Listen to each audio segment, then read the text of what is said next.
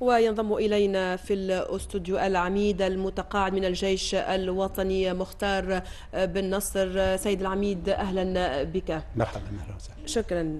إذا رغم ما يحدث اليوم في غزة فإن ما نفذته المقاومة من خلال وصولها إلى عمق الكيان المحتل إشارة إلى تغير استراتيجية الحرب واتخاذها منحا مغايرا. لو نحلل هذه الاستراتيجية أستاذ. العملية العسكرية اللي نفذتها اليوم المقاومة الفلسطينية كانت بكل المقاييس آه، يعني عمل عسكري متميز.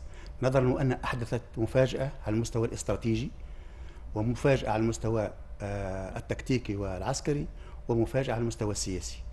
على المستوى الاستراتيجي القيادة العسكرية برغم كل ما عندها من إمكانيات ومن جواسيس ومن رادارات ومن رصد هي لم تتفطن للتدريبات الحثيثة والكبيرة التي أنجزت على مدى أشهر للقيام بهذه العملية الدقيقة. على المستوى التكتيكي يعني فوجئ كل من هو في مواقع آه، يعني الرصد والقتال والنقاط الحصينة وذلك الجدار الذي شيد ليمنع أي تدخل أي تسلل فوجئوا جميعا في ساعة فوجئ كل العالم بهذه العملية نعم. والعالم أيضا. فوجئوا بتواجد يعني المقاتلين الفلسطينيين بكل إصرار داخل هذه المواقع. وهذه كانت ضربة كبيرة جدا لأنهم لم يتوقعوا يوما بأن هناك من يقترب من ذلك الجدار المانع الحاجز الذي يعتبروه في وقت من الاوقات في مخيلتهم كما خط بارليف الذي أنهار في سنة 73 على المستوى أيضا السياسي لاحظوا الارتباك والارتجال والغضب الذي سيطر على القيادة السياسية. الإسرائيلية من ذلك أنها هددت بمحق آه، الفلسطينيين نعم. هناك من وصفها وصف ما يجري الآن بجنون الحرب. وفعلا وهو جنون لأنه يعني شفنا مع مرور الوقت أنه عاد العقل شيئا فشيئا للقيادة الإسرائيلية السياسية والعسكرية وتبينوا بأن ما قالوه وما وعدوا به الإسرائيليين ما هو إلا لامتصاص غضب الشارع وامتصاص الأحزاب غضب الأحزاب التي كانت تعارض هذا الحزب اليميني المتطرف في كل خياراته. نعم. آه، سيد العميد المحتل استخدم خلال هذه آه، خلال عدوانه على غزة استخدم أسلحة جد متطورة وبعض هذه الأسلحة محظورة يعني دوليا وتستخدم لأول مرة. وهو اليوم يستعد وهو ما سمعناه منذ قليل أنه يستعد للتوغل البري. قراءة أمنية إقليمية لهذه الخطوة التي يمكن أن تنفذ في الساعات القليلة القادمة والتي حسب عديد المصادر باتت على وشك التنفيذ. ما ما يمكن أن يحدث اليوم إذا ما تم التوغل البري في النقطة الأولى أنه الاستعمال بتاع الأسلحة المحظورة إسرائيل تعودت عليها وراعيها تعود عليها والقوى التي تحمي إسرائيل تعودت عليها استعمال اليورانيوم المنظم واستعمال الأسلحة يعني القنابل الفسفوريه على نعم. المواطنين نعم. واستعمال القنابل الفراغية اللي تدمر يعني البنايات بشكل كبير هذه كلها أشياء تعود عليها لأنهم يدوسون على القانون وهذا القانون الدولي الإنساني كما رأينا أنهم لا يحترموه ولا يعني يحركون ساكنا إذا ما اتهموا بجرائم الحرب لأنهم يعتبرون أنفسهم فوق المحاسبة لأنه مسنودين بقوى عظمى. ورأينا ذلك الارتباك الذي ذكرناه الارتباك على المستوى السياسي والرعب الذي حل بإسرائيل في هذه العملية. هو في الحقيقة كان على مستوى أمريكا أيضا لأن القيادة الأمريكية بكل ما فيها من قيادات عسكرية وأمنية وسياسية تحركت وكان دعم سياسي مباشر. ودعم عسكري بتحول يعني وزير الدفاع على المكان وتحريك الأساطيل للاقتراب من منطقة العمليات وكذلك حتى على مستوى الدعم على مستوى الرئاسي. شفنا أنه رئيس أمريكا بذاته يتحول إلى لكي يواسي ويعزي ويرسم خطوط حمراء.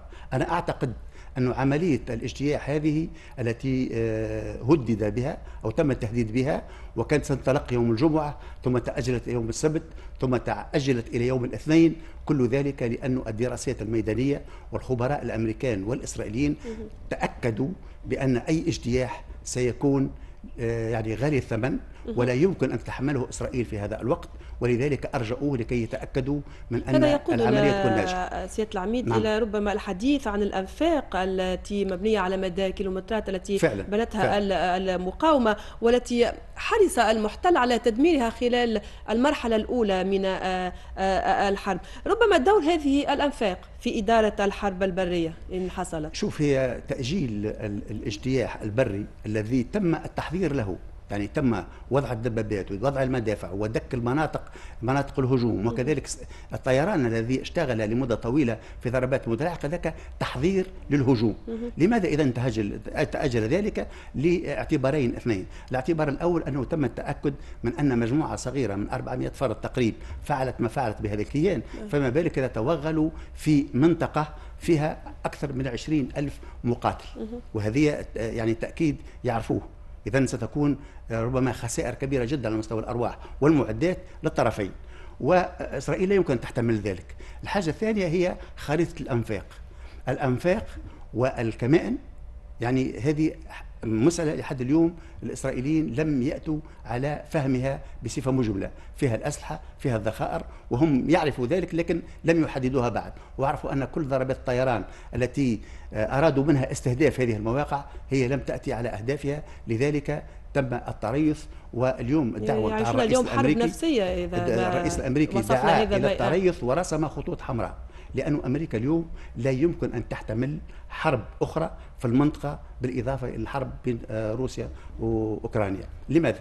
لأنه في صورة ما إذا يقع الاجتياح بالشكل الذي أرادوه سوف تفتح جبهات أخرى وهذا مؤكد جبهة لبنان ستتوسع. وجبهة آه، يعني سوريا ثم من ناحية أخرى هناك حتى الحوثيون عندهم أسلحة طويلة المدى يمكن تصيب إسرائيل. وهذا بالطبع غير مضمون.